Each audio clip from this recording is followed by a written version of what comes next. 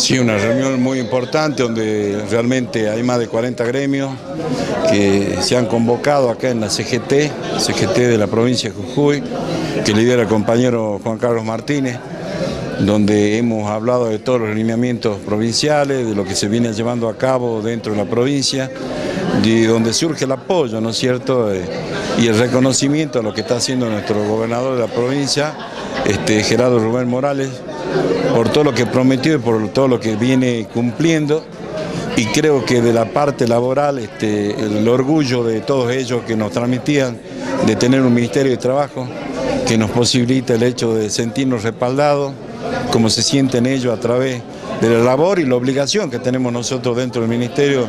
de ir cumpliendo acadamente con el tema del control, de los derechos, de las obligaciones y de todo lo que es en materia laboral como así también la posibilidad de ir peleando para lograr de generar empleo genuino que nos va a dar la posibilidad de despegar como provincia y de lograr los sueños que hoy tenemos los, los jujeños y justamente acá, ¿no es cierto?, con estos compañeros